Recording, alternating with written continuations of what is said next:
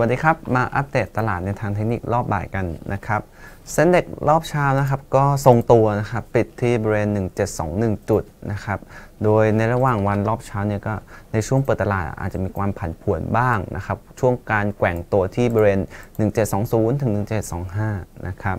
โดยกลุ่มที่ขึ้นมาวันนี้นะครับได้แก่กลุ่มคอนแมทนะครับน่าจับตาเลยนะครับกลุ่มคอนแมทตัวนี้คือในทางเทคนิคเนี่ยมัน ทำรูปแบบ invert head and shoulder ขึ้นมานะครับ ก็อาจจะเป็นกลุ่มที่ leading ในอนาคตก็ได้ อันนี้อยากให้จับตาดูนะครับสำหรับกลุ่ม CONMAT โดยทางเทคนิคนะครับสำหรับตัว Set Index เนี่ยต้องบอกว่าเป็นลักษณะทยอยขึ้นนะครับทยอยปรับตัวขึ้น ค่อยๆ ปรับตัวขึ้นกำลังทดสอบแนวต้านสำคัญที่ 1730 นะครับบริเวณนี้ต้องรอดูนะครับในรอบบ่ายเนี่ยอาจจะได้เห็นการขึ้นทดสอบแนวต้านดังกล่าวนะครับ ถ้าผ่านได้เนี่ยก็จะเป็นการยืนยันทิศทางขาขึ้นรอบใหม่นะครับเพราะว่าจะเป็นการเปิดดาวไซด์แล้วก็ข้างแนวต้านข้างบนเนี่ยตรงนี้เนี่ย1730เนี่ยข้างข้างบนเนี่ยมันไม่มีแนวต้านแล้วนะครับสำหรับรอบนี้ถ้าเปิดถ้ารอบบ่ายเนี่ยทะลุขึ้นไปได้เนี่ยก็จะเป็นการเปิดอัพไซด์เพื่อขึ้นต่อนะครับแต่อย่างไรก็ดีเนี่ยถ้าไม่ผ่านนะครับถ้าไม่ผ่านรอบบ่ายนะครับจะเป็นการ คงภาพ sideway ในกรอบ 1715 ถึง 1730 ไปก่อนนะครับ แล้วก็รอดูการฟอร์มตัวเพื่อเลือกทิศทางอีกครั้งหนึ่ง ก็ต้องติดตามดูรอบบ่ายนะครับแนวรับ 1715 ถึง 1710 ส่วนแนวต้าน 1730 ถึง 1734 นะครับ มาดูในส่วนของตัว futures นะครับ series U series U นี่ช่วงตอนเปิดตลาดช่วงเช้านี้ค่อนข้างผันผวนอย่างมากเลยนะครับ ลงไปแตะ low ที่ 1132 แล้วก็ มีขึ้นไปทำ high ที่ 1139 ถึง 1140 นะครับค่อนข้างผันผวนนะครับในระหว่างวัน โดยภาพในทางเทคนิคเนี่ยต้องบอกว่ารอบเช้าเนี่ย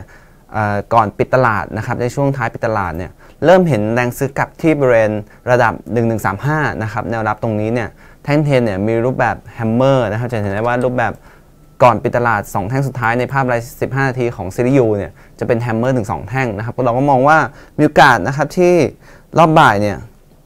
จะได้เห็นการฟื้นตัวกลับของดัชนีเนี่ยเพื่อขึ้นไปทดสอบแนวต้านบริเวณ 1138 ถึง 1140 อีกครั้งหนึ่งนะครับ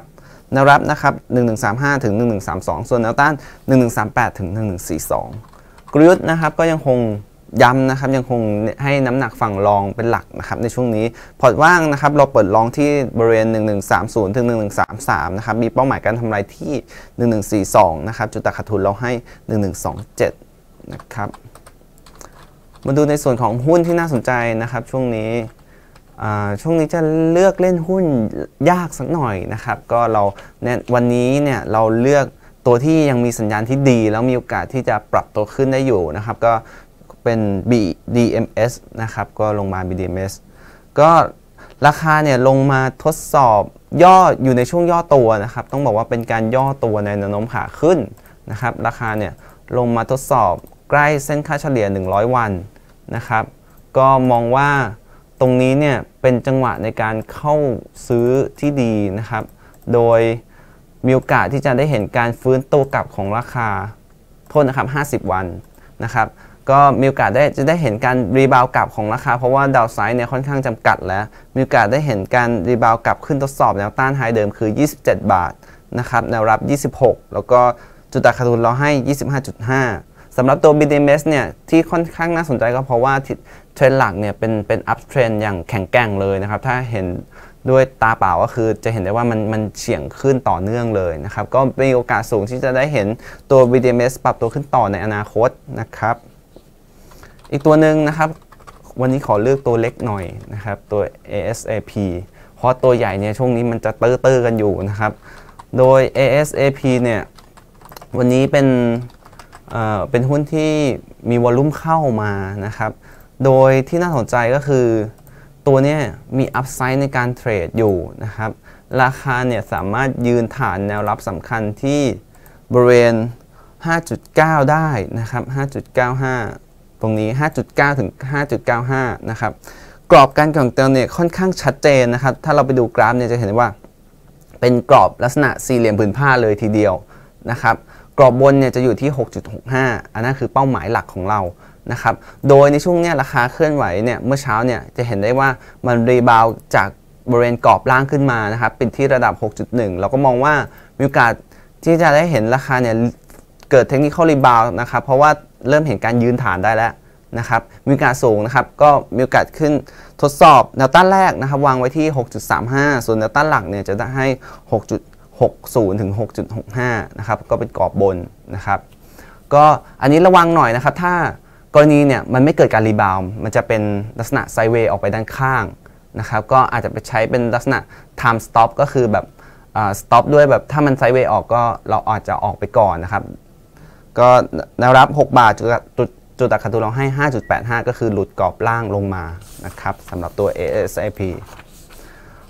มีวันนี้มี paper อันหนึ่งนะครับ ก็อยากจะแนะนำก็คือตัว Big Mover ออกทุกต้นเดือนนะครับ ตัว Big Mover เนี่ยจะเป็นลักษณะพูดถึง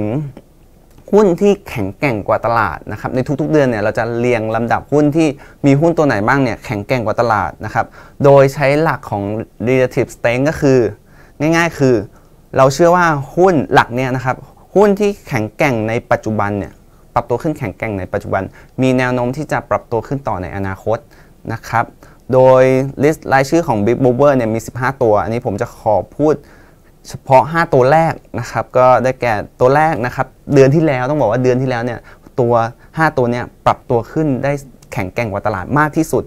นะครับตัวแรกเนี่ยเป็น Beauty นะครับขึ้นมา 52%นะครับตัวที่2เนี่ย BCH 16%นะครับตัวที่3สวัสด์